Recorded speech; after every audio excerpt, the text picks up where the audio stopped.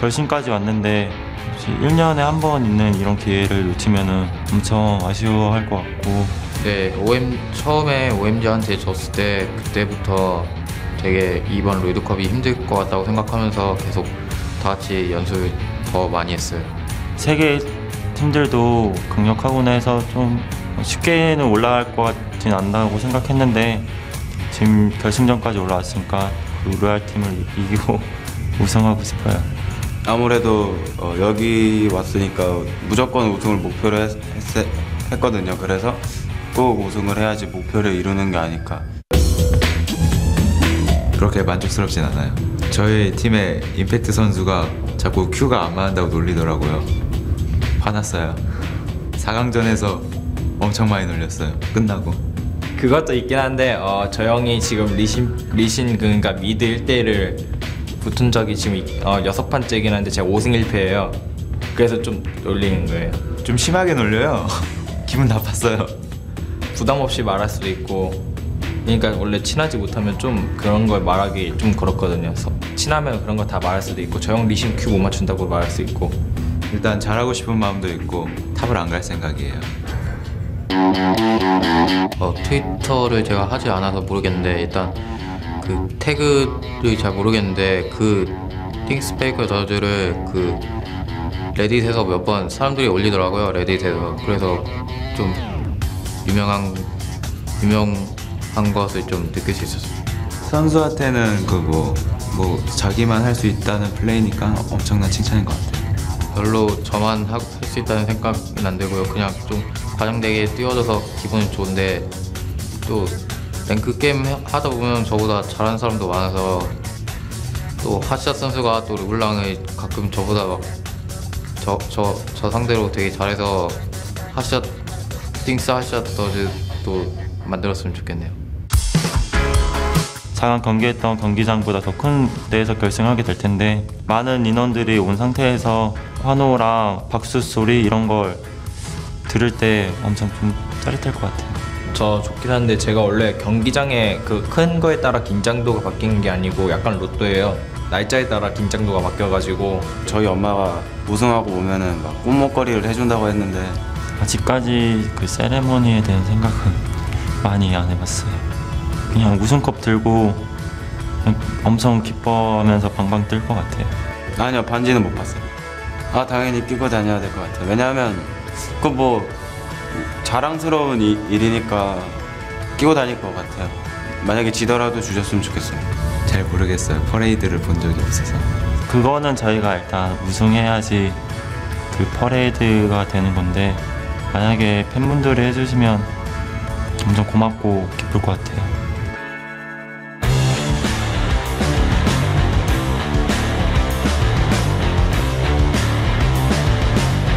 Welcome back to the Staples Center and the Season 3 World Championship Final. It is time for Game 2 in this best of five title fight between Royal Club and SK Telecom T1. And after a dominating Game mm-hmm. 1, Faker and his team are looking to make it two in a row against the Chinese champions. Yeah, and SK normally drops the first game in these best of five series, but they came out incredibly strong in game one, and that just puts even more pressure on Royal Club to come back in this game too. And just as a heads up coming into this match, Royal had the choice of sides and may have chos- chosen as well to spawn on the red side as SKT Yeah. did in their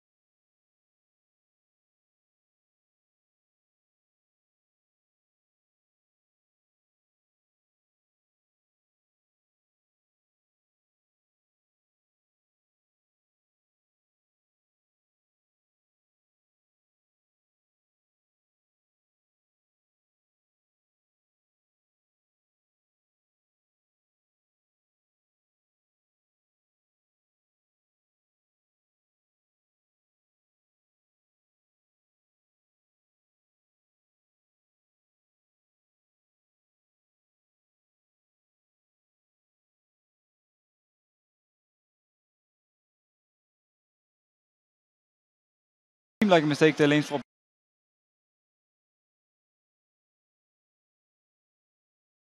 So that was maybe a bit of a misstep. They could have stayed top lane, actually kept pressuring with the Elise in a 3v1 and simply forced uh, SKT to do a move, and that way they could keep control of the game.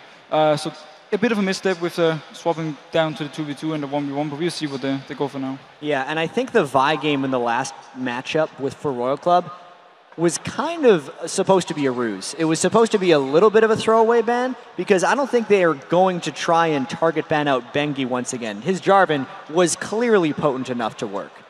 So here we go, ladies and gentlemen. Game two getting underway for the World Final. Royal Club up against SK Telecom. SK Telecom this time will be starting out on the blue side, and you can see straight away Annie Renekton banned out and Shen taken by Royal Club. This is actually a little surprising to me because I thought SKT would be willing to first pick a Renekton, but this tells me they might just be trusting in Faker right now. If there's an Orianna band, as we mentioned earlier, that actually forces, uh, no, that, what does that do? That does not force a Gragas ban That at all. does not force a Gragas Yeah. ban, no. Gragas will most likely not be picked now because he's Mm-hmm. mainly used as the counter to Orianna, which Royal has put out. Yeah. This does mean that Fizz could potentially be available for whites, because this is Yes. probably going to be an Ahri for SK Telecom now. Zed is up. Oh!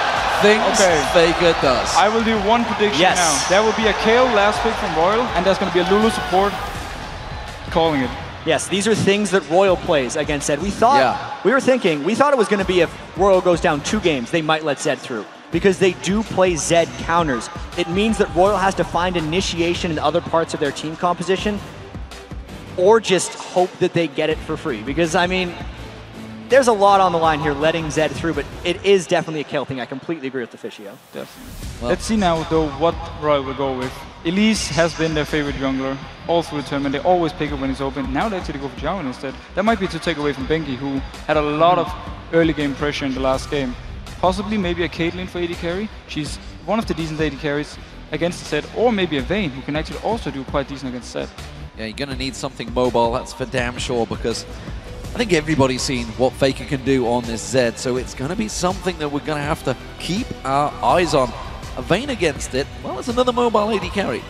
Yeah, I mean, if I'm Faker right now, I'm realizing Royal is adapting to the Zed pick because they threw it out first. It's what they have to expect. Vayne can 1v1 Zed for a fair portion of the game. One of the only AD carries that can do that. And if Royal is actually planning to go Lulu later, it means that. Uh, sorry, if they're planning on going Lulu later, it means that Jarvan gives them the initiation. But as far as SKT goes, they get the top laner once again since Shen and Renekton are down, and I don't think Royal has a realistic answer for this. It's going to be very interesting to see what they actually will pick for the top lane versus Jax.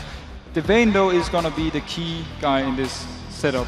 If they go for the Vayne, I mean the Lulu and the Kayle, they will have so much protection for the Vayne. Zed will not be able to kill Vayne, and Vayne will be able to maybe clean up the entire team fight and therefore carry the game. If they log in the zone, it will surprise me a little bit, but it will give them a stronger 2v2 lane at least.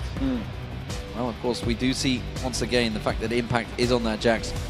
What sort of answer will they have for that Jax? I mean, we can talk about the Zed. They're going to focus the Zed, but that leaves Jax free. Yeah, I'm actually not sure what they're gonna go with this Jax. They might maybe go for something like a Nasus. He's gonna have a very hard time in lane. Yeah. Possibly a Kennen. Uh, I'm actually not sure. Oh, a Yeah. Rumble pick. Okay, that's He decent. played one Rumble game earlier on in the World Championships and won with it, but I'm still sitting pretty if you're SKT right here. You have the most played support for Mandu in Zyra. If they go for Lee Sin, it is Bengi's four out of five champion picks in the semifinal. You have things Faker does on hmm. Zed, and you have Jax, who, even though it's not an amazing matchup against Rumble, once he gets some farm under a belt, will just obliterate him. So SKT, I feel like, has done exceptionally well so far in this pick and ban. It's gonna be all about the last pick now for Royal, in my opinion. If they go for the Kayle and they manage to get in a perfect ultimate to simply shut down the Zed and his combo, they might be able to win the team fight with a good old Rumble ult and a good Sona ult. But uh, the Quinn, not too sure This about is that. this has got to be an Ezreal or a Caitlyn, if we know Piglet, because those are the things that he's playing right now. It's Corki, Vayne, Ezreal, Caitlyn are the four champions these guys share. And there's this world. All right. Now let's see the last pick. He was he was playing to the crowd here. How many times do you get to show an oddball champion in front of the Staples Center? Yeah, it's not really something you pull out in the game too when you've got such a fantastic team comp seemingly. What a Royal going with in the mid lane. Well, there's three picks I can see possible. Kayle is one Kayle. of them we talked about. Ahri can do decent against Zed as well. Actually has kill potential on Zed. If she snowballs slightly in the early game, get an early DFG, she might be able to kill the Zed in a 1v1. And there's always the safe pick in a Gragas. That can work in the lane, but I'm hmm. expecting a Kayle. You gotta think it's Kayle. It's something that White's picked against Fizz. It's what we've seen Alex Ich do well on. What? Royal is out of their minds right now. we, I just gotta wait. I just have to wait and see what happens. Kassadin has been successful throughout this tournament, but up against this team comp, no. Wow. What? Okay. Okay. So if I'm SKT right now, I am 2v1ing Whites. Or just hitting him with Zed, because both of those matchups are horrendous for Kassadin, especially because SKT main weakness is the early game, but they should have an easy early game against these Royal lanes. I'm liking SKT right now. Oh yeah, I'm definitely also for the SKT lineup right now. The thing Royal has to do, like either they have to send the Kassadin mid and simply hold, hope that he can farm on the tower, either in 2v1 or 1v1 versus Zed, or they pretty much forcing themselves to send Kassadin in a side lane where he's not very strong and Lee Sin will have a lot of easy ganks on him. The one thing that we do have to keep in mind, though, is that if Royal does survive the laning phase, the chase from Kassadin and Vayne is going to be immense. We have seen Peke's Kassadin. It's something Royal was incredibly familiar at banning because they banned Kassadin all four of their semifinal games to get here. They do recognize the power there, but to give up what they gave up to SKT and the Zed and the Jax is a bold game two move, to say the least. I think it's kind of scary that you have a, a Vayne on your team and you're you have some hard crowd control, but that's on point. You got to get the flag tossed down. Everything else is a silent or you can just walk at my Vayne. This is going to be quite scary. And we've heard Cloud9 in the NA season pick Vayne into Zed because they feel it's the mm-hmm. 180 carry that can actually fend for itself against Zed. So maybe they got something up their sleeve. They better. Absolutely. They better. Well, Deficio, thank you very much for joining us once again throughout that picks and ban phase. We will be seeing you once again for game three. And game two is about to get underway. Have SKT stole a march on Royal Club? Can they take it 2 to 0 with this seemingly fantastic pick comp for them? Honestly, this seems a little crazy to go into game two with. Well, Royal's a crazy team, is one thing we've learned about them. The first time we saw them, they took one Baron buff and pushed three straight turrets to end the game in 28 minutes. Ah, they yes. swept OMG. If any team is going to make this composition work in the World Championships at the final, it's Royal. All right, here we go into game two of our best of five at the World Finals. SKT takes the blue side. Royals' choice in game two. They do go for red. So will we see an engage? That is the question. Our Royal Club hoping that they can steal an edge maybe from that start. They do catch out on Impact. They see was there and immediately back away. Impact not going to be able to take that ward down, but it does give them the coverage. They also have vision of Uzi down the bottom, so it seems nobody's going to go for that invade. Very interesting to see both of these teams, as we said, over and over, just face first to each other, 5v5. Now that they will spread thin, kind of be that human line of scrimmage, and they will all know that everything is safe. This, again, though, stops them from getting their scouting wards in for the 2v1 lanes. I think overall in this game, there is a lot of importance on Lucky's Jarvan to succeed. He played so much Lee Sin the semifinals and didn't necessarily perform on it. He had a hmm. very poor KDA, even though he picked it in all four games. Jarvan was his main champion in the Chinese regional finals. And because Royal has picked what are weak early lanes, Lucky has to augment those lanes and make sure they don't fall behind SKT because if SKT gets the slightest edge on Royal, we've seen their ability to control with wards, Roman turret dive, and just get objectives. This is extremely dangerous and important that Lucky performs. That's a pretty big push off right there. They won't get the pressure on the smite coming up at on the spawn of blue, and they're going to have to resort to just going with an orthodox start here. So SKT, they're going to allow Lucky to get that easy jungle around. Does of course mean that Whites will be in that 1v1 in mm-hmm. that mid lane. Lucky will take himself that blue buff, red buff start for Bengi. So standard stuff here in game one. Not so standard in the picks and bans though. We'll see how that develops as this matchup goes. Yeah, and I am absolutely enthralled in the Faker lane against Whites because we haven't gotten to see Faker play Zed. We've seen a couple people play Zed, but it's been banned at least 90% of the time so far in this World Championships. Doran Shield start as well. I really wonder if Royal has a plan to focus or if they're just going to ignore Faker and hope Whites can stand up to him with his Kassadin farm. Well, Royal is considering that that blue was still going to be taken. Lucky oh. smited the blue buff, which means he's not up here in time. It took longer to get red, and Godlike's going to find a 2v1. He's not going to catch him with the counter strike, but he will catch the kick on him. Is it going to be enough damage? Godlike desperately running away from this one. The ignite is burning on the turret, oh. but he will survive. Wow. He covered some distance on that gank escape. I did not expect Godlike to be able to get out of that one. Bengi did the very standard red to blue buff, early gank top, and Godlike was just over pushed. He is extremely fortunate to not die to that gank attempt. So now the pressure is in the top lane. Bengi's going to help out a little bit here, soak up the experience, or he may try to head middle. Faker's trying to put pressure in the mid lane, and SKT as a duo putting pressure on the bottom lane here. Yeah, Tabe taking a lot of damage, continuing to be harassed there by Mandu, and he's in a little bit of trouble. Going to be low hit points on that Sona. Faker, meanwhile, putting the pressure onto Whites, but White's still doing a good job keeping up that CS farm. Yeah, but SKT is already invading the Royal jungle because as we said, Royal's early Uh-oh. lanes are extremely weak. And even though White's, oh, he's a little too low for this. Behind the turret, they go in. It's a one-two kick punch. Impact's just there to take a Polaroid. He wanted to say hello. He wanted to be part of the gang flying through, but they had it under control. That's what happens to Royal when everyone is pushed back to their turrets. They completely lose control of their own jungle, and it means dives like that are a possibility for SKT. Great execution as well. And the dives that Royal honestly were kind of famous for coming into this one, but it seems to have backfired on this time around. Uzi getting focused on Mandu, going to lock him up. Barrier being burned there, but now he's putting pressure back on Mandu. Piglet goes aggressive. A little too close on that turret, but unfortunately for Tabe. Oh! The snipe from Piglet. But now White's coming around the backside. He's trying to lock it down. This was the teleport to the bottom lane. If they can pull up a double kill here, it'll be worth it for Whites into the ward. But he gets oh! locked up. He's going to be forced to get the one. Lucky gets the other. So what seemed like a bad move by Uzi was actually a bait. If he could have dodged that Mystic shot, it would have been a clean 2 for O because Piglet and Mandu were bloodthirsty going for that one. It still works out in the benefit of Royal. The teleport mid laner, a strategy, especially on Kassadin, somewhat taken from XPeke's Kassadin, works out here for Royal.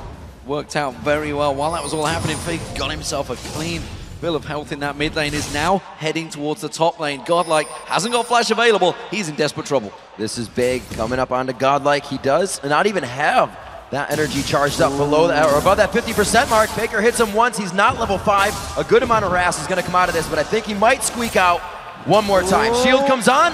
They're forced to back off. 22 health by that one. Godlike is fantastic at just running away very slowly from opponents because no one seems to be able to kill him in that top lane. Even so, that is more lane pressure lost for Royal, and the assault of SKT's early lanes continues. And that could have actually bought White's a little bit of a breather in that main lane because, well, Faker was away from that line for a long time. Bengi has come back in there to try and clear him out. We do see Lucky making his way around towards those raids as well. So let's see if he heads down towards the bottom. There's no wards just there. Mandu's just boarded that tri-brush. Two quick things that are completely different in this matchup. Whites is being the first one to roam here over Faker, taking that teleport, not letting himself get in a bad spot, and also the roam here from Lucky on the man No too. flash. They can lock it down for the kill. It's going to be there. Tabe gets another one for himself. It's really unfortunate that Tabe picked up that kill. They were trying to rush it before they thought a counter gank was coming from Bengi, but the fact that Uzi was not the recipient of any of the turnaround gank when he baited in Piglet's Mystic Shot, and then that gank again doesn't give him gold, means he is not getting going despite all three kills being generated by their bottom lane. is keeping up in farm, which is an Ezreal, which is pretty damn good against mm-hmm. Piglet. This top lane, Godlike, has his two escapes been enough to save this lane because it is working so far pretty well up against Impact. Twice he's been ganked, twice he's escaped. Is that keeping Royal in the game? Royal needs to find a way of getting Godlike in team fights because the only thing he's going to be doing against Jax is surviving. And I think the fact that Impact has tried to kill Godlike so many times is the main thing that's actually keeping that farm relatively close. Those two attempts that Bengi created in the first game were kills on the mid lane. Godlike's done a very good job at kind of staving off the control that SKT already had by this match point. We had the, the Phage and the Sheen coming in already onto Piglet last game. It's definitely a different pace of game, and SKT's even playing it that way. Rumble's roaming down though. White's is six, and they Ooh. might be looking to make either a gank play or a dragon play on Faker. Oh, Godlike throwing those harpoons in, keeping the flame spitter going. Faker just walks away just like Godlike did. I don't think they were quite on the same page there. Yeah, if Godlike's going to spend all the time to roam down to this lane, he's giving Impact time to get back in the game, and Royal needs to force. I actually do have to give Royal a ton of credit. Only being 600 gold down here, even with Faker roaming around so much and trying to create action, is a huge accomplishment. And we can see Royal with the inventories being built up here. At least the tier. Whites is looking to stack, get that team to the late game, be able to get Vayne into that hyper carry position. We'll have to see if they're putting the chess pieces in order here. Three to two in those kills. The junglers look to only hold the lane so far for everybody. You're not really trying to get a snowball going just yet. Godlike not really keeping that trade going even with Impact. We do see the red buff fall Lucky. Lucky who hasn't, as of yet, really visited any of the lanes other than to simply stave them off. Other than that bottom lane, that bottom lane where they got the kill again. Godlike getting jumped on by Impact. He can't leave that turret area. And now it seems like Lucky is actually getting pulled to a lane because it's losing, which is never a position you want to be in as a jungler. Jarvan not getting as many ganks in he was like. Impact goes hard. They throw it in the equalizer, but he has the chance to instantly walk out of it. May turn it into a 2v1 kill. He goes on a godlike. He gets the flash. The empowered goes down, but Lucky gonna continue the chase. Lucky might get this kill, but down Yep. the bottom lane, they're getting ready to There's a counter this one. Bengi's going to come in around the side. He's already caught the kick on towards Tabe. Oh, Tabe's just going to get melted. Wow, the execution right there from Bengi was exquisite. He landed his Q, walked into melee range, Ard him, and then got the extra execute damage from his Q. They're going to continue pushing on this one, and look out Royal. They are in big trouble turret-wise. Faker going hard on a dive there, gets himself in a tight spot, but he will not choose to go all the way to the bottom lane. The turret is going to go down. It looks like they're going to leave it at that. Piglet getting as many minions wasted as he can before he takes down the turret. First turret of the game. SK Telecom T1 will be taking that one down any second now. Whites, though, has got himself a good bit of clear farm. He's keeping going. He's falling behind Faker, but it's not the end of the world so far for this Kassadin. We know Kassadins can get going just like a Zed. Yeah, his Kassadin has been doing all right, but looking at the gold right now, knowing it's close to close to 2,000 gold, 10 minutes in, means Royal has to find a play that stops SKT from pulling ahead of them very shortly. They are losing the top lane, Impact versus Godlike. We saw Lucky come and gank and actually give up a kill. They're losing the bottom lane because Uzi has been repetitively dove and they've lost the turret. And even though Whites is surviving, you cannot say he's winning that mid lane. If you lose every lane, you lose the game. That is almost always true. And Royal is losing every lane right now. and they're facilitating the way to keep doing it. As Krepo was has been saying on the analysis desk, the junglers are going for that mobility. They're going for being able to get in your face. We see Bengi already with the mobility boots. Like you said, he's been in the bottom lane for the three-man gank on the two lane every time. They take mid turret. They go up two to zero on that. Even on kills, 2,000 ahead on gold, as it looks like they're going to dance the dragon. and Royal would have to find their fight here. There's SKT who's cleared out the pink wards, and running into a Zyra at Dragon Pit is extremely dangerous. Even Impact is coming down. The Dragon's getting low very quickly, and Royal's actually giving it up. This is going to really extend that gold lead for SKT. That Dragon was huge. And they experience the gold. It is all sliding SK Telecom's way. And remember, Royal chose to start on this red side. Yep. This was their choice. And so far, their counter picking has been countered by SK Telecom's start pick. Right. It's very strange to me how they were the side that is traditionally the side that can counterpick, yet all three of their lanes are weaker. They very heavily tunneled on a team composition that is around team fighting, but they have yet to be able to force those team fights or roam opportunities from whites. It's really SK Telecom reading it and outlaning them so strong. You see two of them going for a gank on Faker in middle, but they're not going to gank the Zed. They know it right off the hand. Godlike's got some ish- or things to tend to in the top lane with the minions.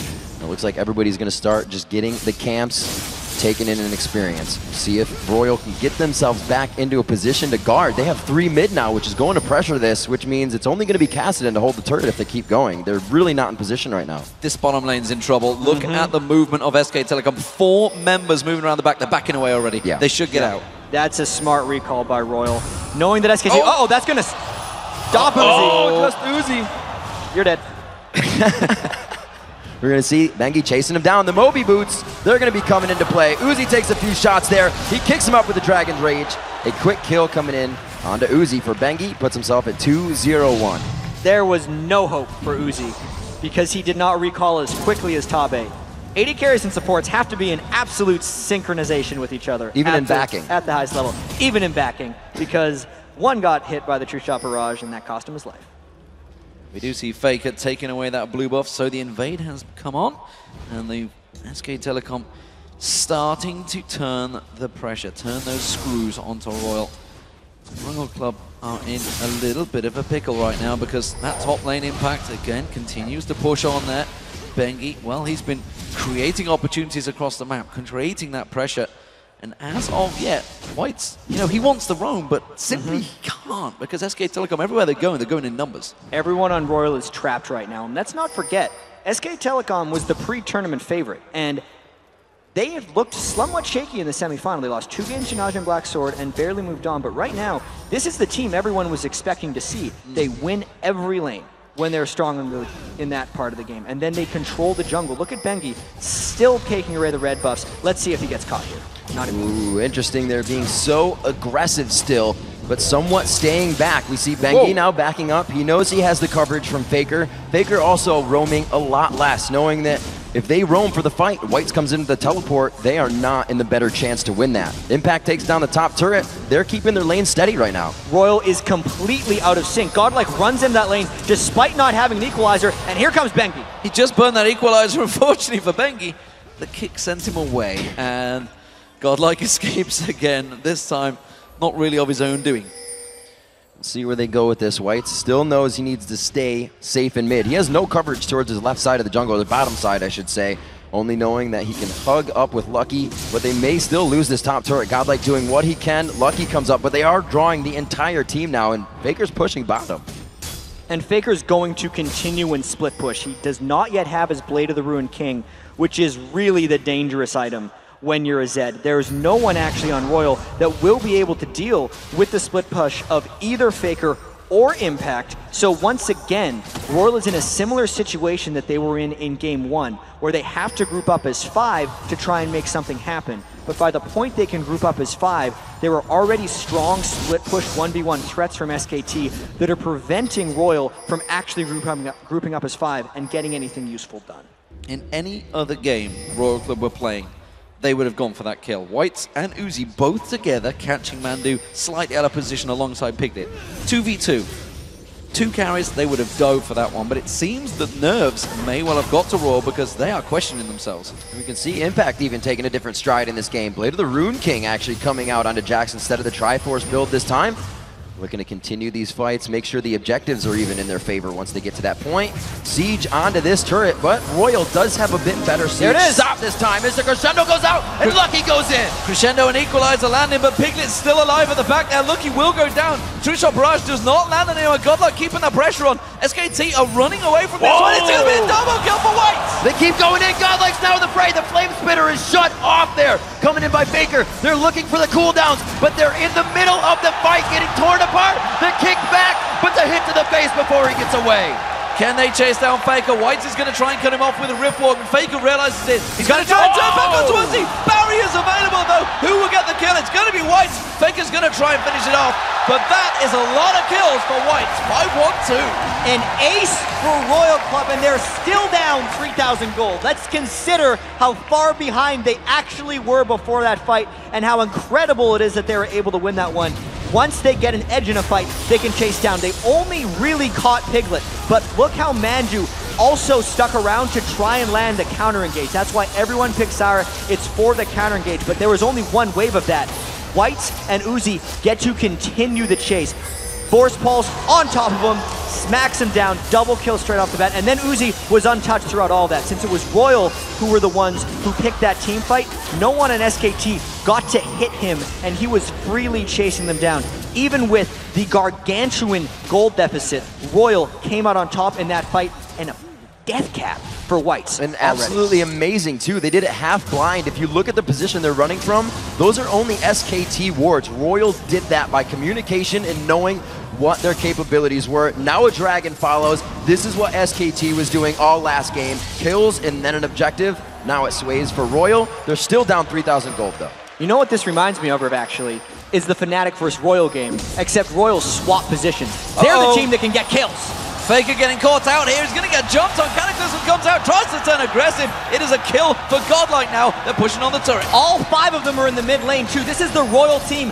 They just flipped a switch, and they seem to be back at it. They have impact in the top lane with the Blade of the Ruined King. He is going to do what a Jax does and wail down on that turret, but they will pressure the mid second tier. Royal usually does not mess around with split pushers. They usually let him go, but finally they have to pull back because they recognize the power of the split push Jax. Jax will beat down on that turret, but the rest of Royal are closing on him, and he realizes his situation is going to get out of there. No matter how quick Royal are, they will not get there to him in time. Unless they show themselves, he will cancel that teleport. No, they did. Instead, they're going to go on towards oh. Mandu and Piglet. Going down, they do have their, no, they do not have flashes up. They're going to get caught with whatever hits them. A good disengage from PoohManDu there, and it looks like nothing will actually come of that aggression. So things we do know is that Royal was able to win a team fight when they were down four to 5,000 gold, which means they can still win team fights if they initiate them in the right way. Piglet is running with no cleanse on Ezreal, and White's, did he not get that blue buff? Nope, Uzi No, got it. it. got taken by Uzi. That really hurts him since he's went with just the tier as opposed to the regular tier Catalyst Kassadin build. So the overall chase of Royal actually got fairly greatly diminished when that blue buff went away. But even so, Royal is looking to punish SKT whenever SKT appears. Royal, with the crescendo up right now, does not want to mess around with this turret, and they may engage as soon as Tabe makes it to that fight. We see the ability power instantly being taken into consideration coming from Royal. The buys coming out of the Hexdrinker, the Negatron, which will change into the Aegis for Bengi so he can start to help the team because going that personal mobility boots into the Madrids, he needs to start building auras for the team, realizing that fight was lost 3,000 gold down. So pressure being applied by SK Telecom, but good reactions from Royal Club. And, you know, we talked about the team compositions. One thing's for sure from Royal. If they start getting the edge in that team fight, they will be able to chase the Yep. entire team down. That's how that ace came about. With a Vayne and a Cassidy, you do not get away. And something that is really interesting to me right now is both teams have very minimal ward coverage. We look at SKT, they only have a couple wards around the Dragon area, which isn't up. And then we look at Royal, and they only have a couple wards in their own red jungle.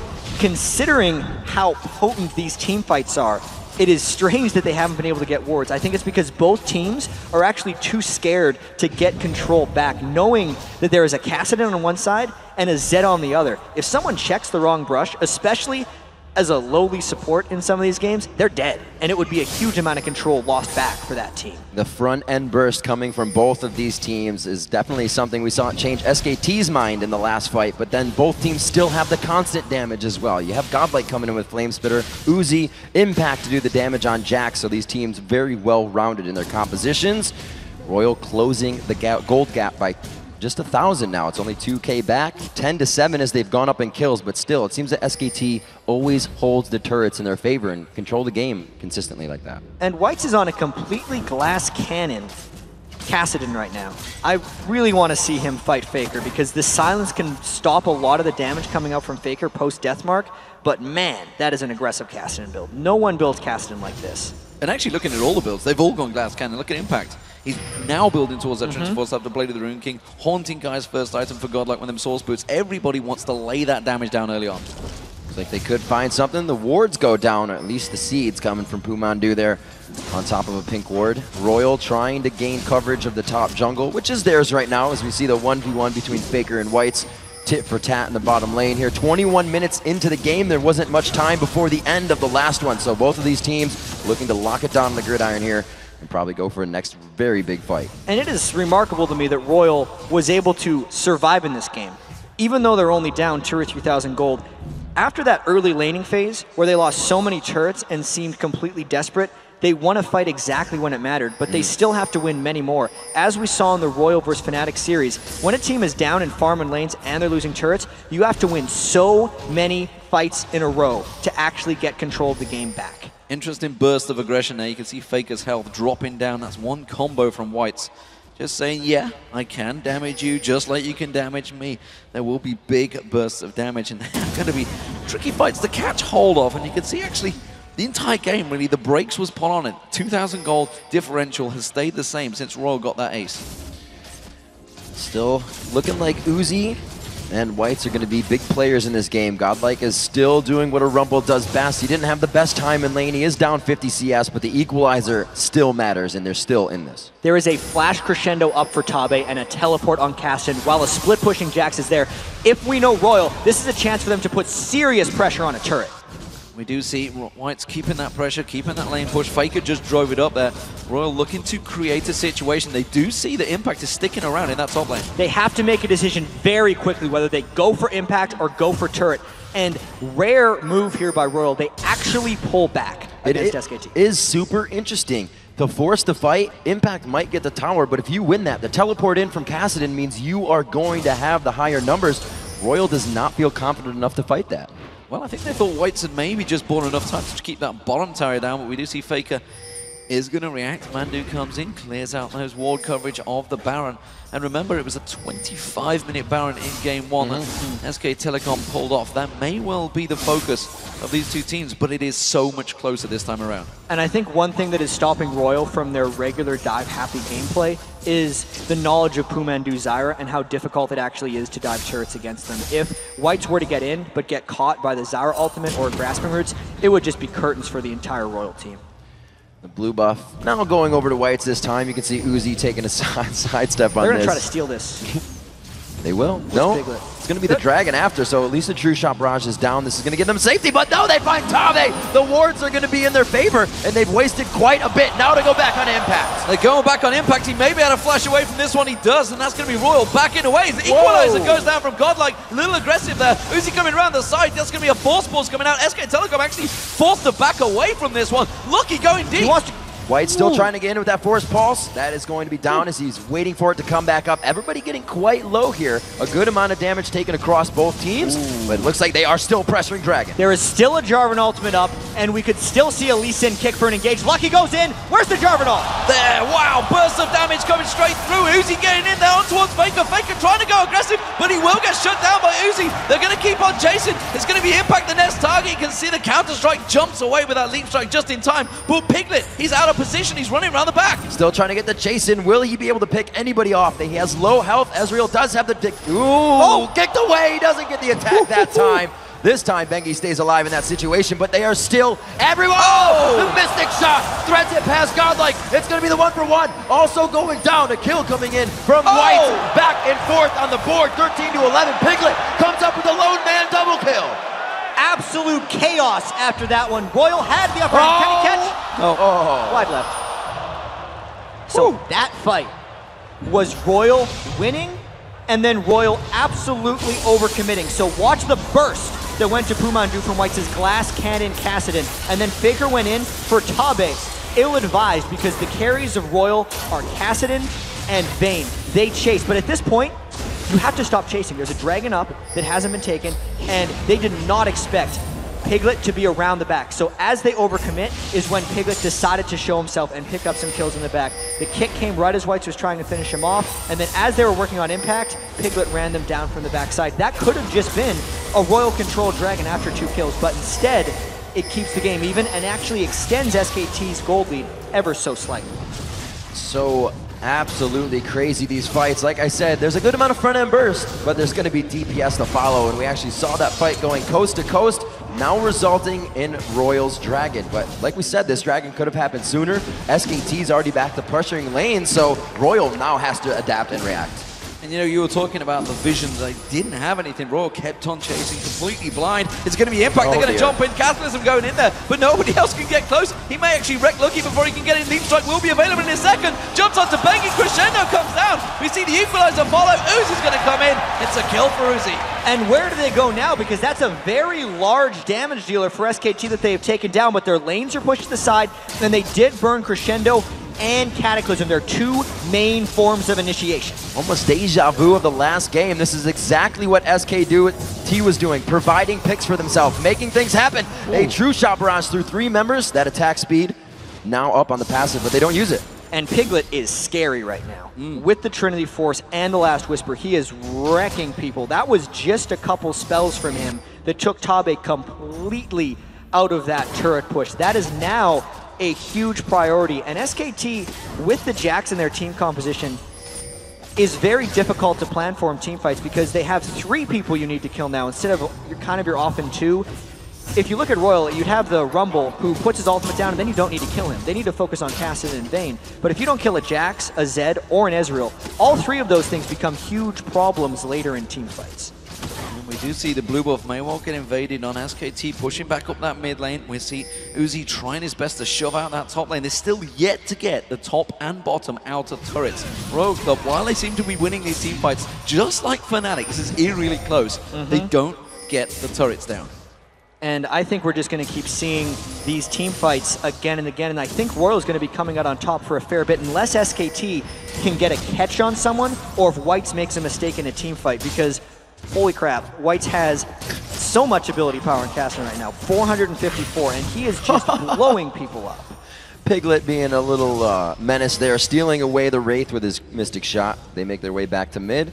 We will have the teleport still up onto Whites, not used a lot throughout the game, but at this point, with Impact being so far ahead, Faker being so far ahead, I don't think teleport, I actually think teleport's too long for that to happen. And there's actually two people on SKT that are in the top lane right now, which means if we're going to see a Royal push, it's now. Tabe has Flash Crescendo, but they don't have a minion wave.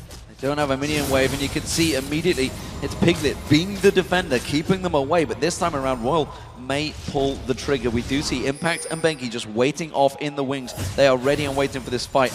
Royal realize it. And this- Royal hasn't been able to pull the trigger on a fight in SKT territory. It's been too dangerous for them. And this would be a fight that they could try and do that. You have to imagine hey, how chaotic a fight would be. From out of the brush, you get an impact on Jax, you get Bengi on Lee Sin, you got Faker coming in on Zed. They want all the vision they can get out of this fight. Impact getting a little aggressive there. Everybody's getting antsy. But Tabe's flash is down for an initiation, and that's because Whites wasn't near for this one. SKT's going to take some Baron control off of this one. And Tabe taken away from that one. Oracle on Bengi may well force Godlike. He's going to get caught out. The kick comes in. Impact's going to follow on through. Godlike gets kicked back in towards him. He's going to get created. He's going to get dropped down. Equalizer was down in time though. Uzi gets caught out. He's in trouble. Looks like Uzi may make it out. He forces the flash, gets into the Oh, brush. They, can he oh, he puts on the barrier. No impact gets the leap strike. They take him down though as White's coming in from the back, and Lucky tries to hit him. The crescendo White comes is caught. White is in all sorts of trouble, but the Zhonya's hourglass is perfectly placed. Can he get out? Force Pulse comes out. No! Piglet is there. Tabe's in trouble. He's going to go down. Piglet's tanking down the turret. And look at Pig. Look, he's just in all sorts of trouble. He's like, what do we do? What do we do? I give a triple kill to Piglet. A five for one by SKT because they got the fight when Royal was not ready for it. Cassid and Sona are missing at the start of this fight. So Godlike, despite throwing down his equalizer, everyone on Royal tries to save him because Royal knows that they've actually been winning a lot of these fights previously, so they were willing to take this engagement. And as well as Uzi can kite, SKT can chase even better. Then Whites gets forced into over committing here. He gets caught by a grasping roots. His entire health bar almost goes away. That's the danger of the glass cannon Kassadin. And Piglet's scary Ezreal just finishes the job while taking the turret. We see the turret going down in the top lane and the mid lane pressured after that. A very reminiscent score of 5 to 1 in turrets now. One minute ago, the last game was finished. SKT is going to have to put a few more on this one in their eyes, but Royal still looking to thwart this off, but it's still heavily sways. 6,000 gold now in favor of SKT. Yeah, it's a big advantage once again for SK Telecom Royal Club resetting, having to sit back. They were the ones trying to be aggressive, and both times these teams have been aggressive, it has backfired. SK Telecom with that lead, with the kills, the towers. Royal Club just haven't got close to those turrets right now, and it doesn't look like they're going to because SK Telecom are becoming too strong. Yeah, and Royal already came back from near death once in this game.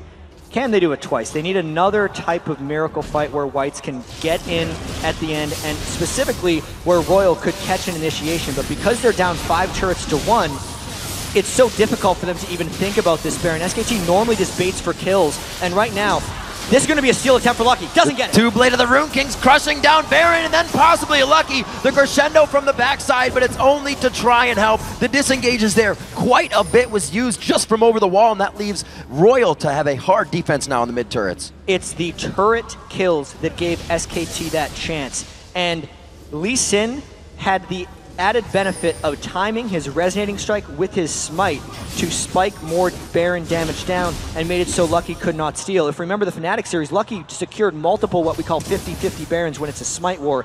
This time, Bengi gets it, and SKT might push hard. Piglet and uh, God, they don't have Crescendo available. Tabe getting caught out. Look at that. Godlike went down in a split second. Didn't even get to catch his health bar. It is going to be SK Telecom rushing straight in. That's going to be the first inhibitor of the game. And they're going to back away. White's trying to get the burst down. No, Piglet's going to follow. Piglet trying to get into the kill. They are easily going to wipe these guys out. Piglet flashes out. The Baron buff keeping him healthy now. They're now onto Lucky. Uzi doing what he can, but it's only from the outside trying to make something happen. The true shot barrage misses, but it leaves Uzi limping away. What a push there by SKT. They had the Baron buff, they knew they could take fights, and Piglet is playing out of his mind this game on Ezreal. Always going in right after Whites uses his Riftwalk on Caston, so he is safely trading damage back on Caston without the threat of assassination. This fight all started because Faker finished off Godlike, so they did not have to worry about Rumble. But specifically, watch the way Faker keeps his distance. We actually don't have time for that because Faker's going for more. Faker gets the kill. Uzi backs the hell away from that one. Doesn't want a part of that. Piglet becoming a beast. Faker becoming a beast. SK Telecom are deadly right now. After a game one loss, Royal put their eggs in the basket of we give them what they want and counter pick it. It doesn't seem to have worked for them this game. No, that's just too much for them to come back to now, I feel. This surely is Royal resetting once again, mm-hmm. thinking, okay, we're going to be the red side again, I believe. No, the next game, yeah, they are the red side. Yeah, yeah, because they chose red side this game. Yep. How do we counter this? We don't give Faker Zed, that's Oh for my sure. word. We don't give him Orianna. We don't give him Gragas. What do we give him? This is the questions they need to be asking themselves right now because SKT has shown a lot of proficiency here, and Royal tried their curveball in this game. I feel like the Kassadin is a big curveball from Whites. They're only remember they are down 11,000 gold, but I think it's the seven turrets to one that are really Right. sealing it right now for SKT because of the way they have been able to control the map. But the Whites versus Faker matchup has been extremely close in this one. It was not extremely close in the first game. And as far ahead as he got on Cassidy in this game, SKT's coordination overall and their ability to play as a team thus far have really just secured them this second victory, it seems. The ability to keep their mentality up. In a lot of their interviews, these players said, we're really not worried about our skill. It's about the mentality throughout the game. If you can keep that up, you'll prevail. See what they can do going into this. Mandu working the oracles, making sure they have vision on the left side. You can see Royal, no wards in their jungle either. So SKT has a safe exit here if something does go wrong. There's so much damage built up from these carriers right now that the moment someone gets remotely close, you see Tabe removed from the map, you'd see Uzi even just dropped before you even see that health bar going down, and they're just poking his turret. There's nothing Royal can do to defend it. Yeah, I think we're going to see a hard engage from Royal very quickly. And there it is, straight away, Crescendo coming down, Equalizer going to follow. Impact actually taken very low, but look at that! The turnaround damage from SKT. It looks like they're gonna continue under the turret. Bengi is the one tanking, and he gets out on a safe safeguard, if you will. Uzi Oh, finds a kill. oh. No, taken from White. They continue into PoohManDu. Piglet now in the eyes of Royal. The chase is strong. Piglet's going to get caught out, but look at that. Zhonya's Oh! oh! got him. Piglet gets away, and that's going to be White's in trouble. What Oh! a turnaround coming out from SK Telecom. Just as Royal thought they could chase, SK Telecom are back in control. These fights are decided by inches right now Oh. and small ticks of health bars. This could be the game for SKT, but no. They're blinking red. They're just trying to take more advantages. And wow, this is a Royal team not giving up without a fight. Home guards looks like it is the saving grace here for Royal. They're able to get enough HP back into the base, and that's just godlike. The only one left up in that fight, and he was almost taken down there in the end. Yeah, and look at how they barely went for impact, nearly just took him out of the fight, and how the turn happened. It's all about Uzi and White and how they stayed healthy. There was a QSS that got popped very early by Uzi to stop the Faker death market. Once he was out of the picture, it was chase time for Royal. But watch, we've been talking about Piglet playing out of his mind. He waits till this moment to use the barrier, gets it with the shield as well from Lee Sin. And then since Uzi was surely dead, he had to flash away, and that was a rare miscalculation from Uzi, thinking he would finish the kill on a Piglet before he flashed away, and he was just wrong. What a crazy, crazy engage. Royal do not count them out. They are holding on just about. However, they only have one inhibitor turret. Both Nexus turrets do stand, and that inhibitor in the middle will be respawning shortly, but you see the timer ticking down. 1 minute 34. That Baron will be the next focus target for SK Telecom, and I'm still not sure if Royal can fight for it. And Royal is still showing some proficiency for fighting because even with the Baron buff in that last push, it was an extremely close fight for SKT. If Tabe gets a crescendo in the right spot, it Oh. could give them something, but knowing that there's a QSS, it makes it more dangerous. World doesn't care about fighting early. The jump in from Impact to equalize the laser on the red carpet, but they're all off of it already. They've entered into the fight. Royals health bars are just getting demolished. Uzi on the outside trying to do what he can, but it's not going to be enough. Uzi's chased into the base, and SKT wipes him for the ace, the quadra for Piglet. Inch stealing away. Bengi stealing the quadra there, just getting the penta at the end. But it's going to be SK Telecom taking this game. Strong performance in game two once again. Royal put up a great fight, lots of kills back and forward. But it's SK Telecom taking game two in the World Finals. It's only going to take eight more minutes than the last game. They solidify it, and they do it just as last time. That was a much closer affair from the first one, but really SK Telecom pulled it together after some mid-game hiccups. You really have to credit that Ezreal from Piglet making the correct plays in the team fights, being able to play around White's glass cannon Kassadin, and you can tell Royal is on the ropes right now. You have to be. You saw Jax twice in the top. You saw Lee as well. What do you ban? What's good? We just gave him everything they wanted at their birthday. Mm-hmm. Can you giving win it? them Zed almost worked. I don't think Faker had a monstrous impact on that game. He No, did try some roam both early. mids did great. It did not work too well, and White's was definitely not shut down, but it was the overall lanes. And it's so strange because Royals lanes seemed absolutely next level against Fnatic, and that is not the case against SK Telecom. All that pre-tournament hype for SKT is kind of coming true right now. Solid, solid play from Piglet in that last game. Let's send it over to Quickshot and his crew for a breakdown of the action. Packed match by SKT. Thank you very much, D-Man, and what a game. Before we get into breaking it down, I do believe my train is, is on its way. Give me Whoa. a ticket. May I have one? Thank Yes, you very much, ladies and gentlemen. I, I am boarding the SKT train. I do want to talk about this matchup, though, and uh, picks and bans. It's something we start with every single matchup. I have to highlight Bengi. He was target banned by Royal in game one. We talked about how he likes to play Jarvan, likes to play Elise, and he got his tournament champion right now of Lee Sin. He's 8 and 1 with Lee Sin, with a KDA of over 14 in this tournament. His numbers are absolutely phenomenal. And in this game, Royal gave away Zed and Jax and Lee Sin. Like, it's, Yeah. it's something you can't do. I was talking about before, like I don't know why they're banning uh, at Bengi because he does play all the high priority junglers here. The real surprise was letting Zed and Jax through for SKT. That is two very strong split pushers that they can use, which is the style that SKT likes to use. And then the wild card coming in with Kassadin with the very last pick for them. It was really interesting, and it was not a royal strategy. You know, usually they have strong lanes early, but they picked all these losing lanes, and then they were going to try and have the upper hand late in the split pushing game with a teleport Kassadin, but it did not work out for them because when you lose your lanes all early, it kind of guarantees the possibility of a 3-1-1 split push late. Just that's just what SKT wanted. So just speaking to Royal pre-game, uh, the Vi ban I can kind of understand because they think that Vi is an instant kill for Faker, and if Yeah. Vi just flash ultis white mid and Faker gets first blood, it's GG, dude. And there's al- honestly not a lot of power or counterplay to a Vi like Ahri gank or a Vi Zed gank. I, I want to take and talk about this composition and what we saw. This game and composition really reminded me of game two against OMG that Royal played, where we had these three glass cannon builds. Again, a rumble with the Liandry's first. And what we saw was the perfect counterplay to that there. SK Telecom had a read on this. They control vision, they wait very, very patiently for one person to get out of position. And that's really what blew this game open. Catching Faker catching Godlike in the jungle and then rotating to ta- to take that top turret. I mean, it was just pedal to the metal from there. That's true, but earlier in the game, you have to say SKT didn't play it flawlessly. They They, didn't, no. grouped Yeah. up for a team fight at 16 minutes instead of just split pushing, and that's where um, Royal got back into the game because they've got the team fighting team. Tabe flash ulti, the crescendo, almost Hang on, hang on, hang on, hang on, hang on, because you, you, you, you're cutting into my job now. Because this is actually something that we've prepped. It, it- it is a replay that we're going to pull up onto your screen right now, guys. As you've already highlighted, it was actually the saving grace that pulled Royal back into this game.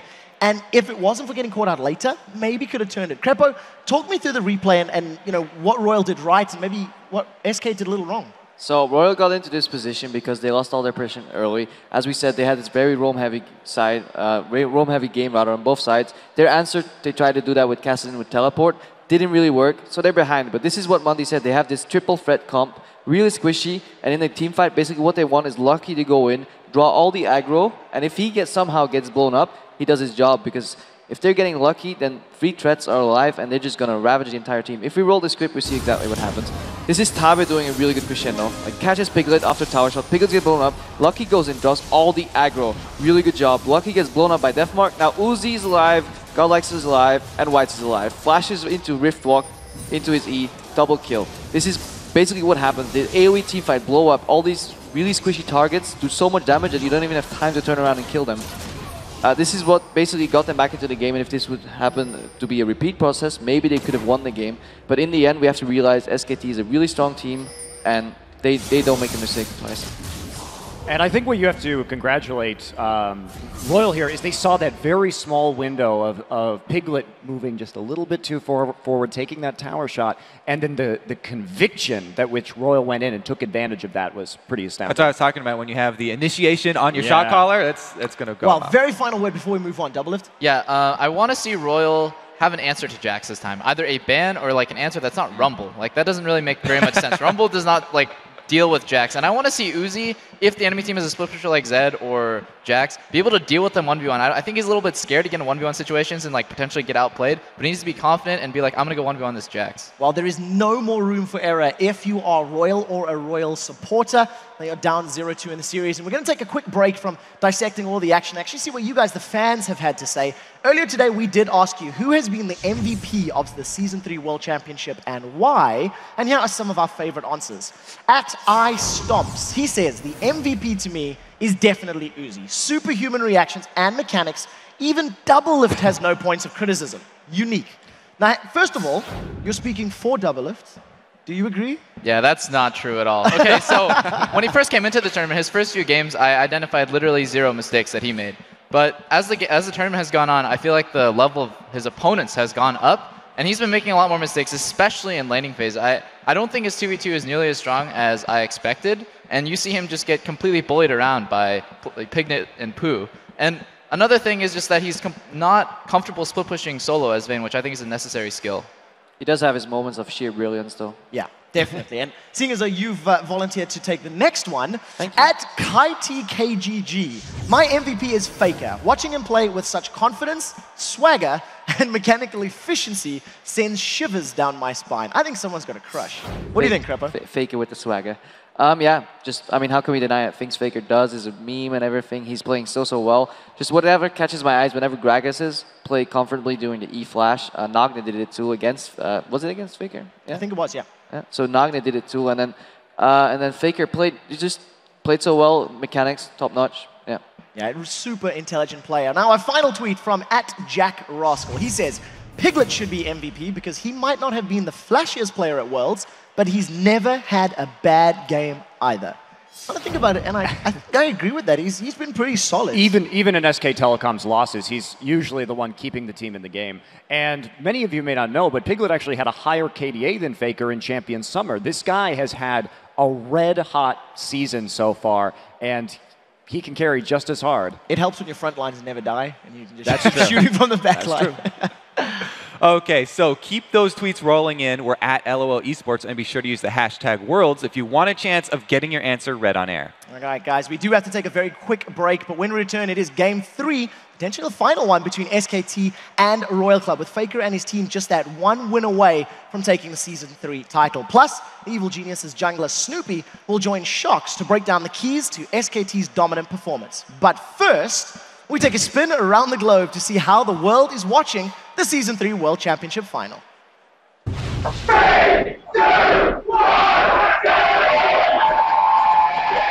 One.